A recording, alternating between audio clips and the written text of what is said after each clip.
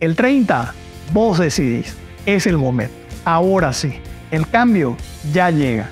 Rafael Filisola, senador, lista 2, opción 4.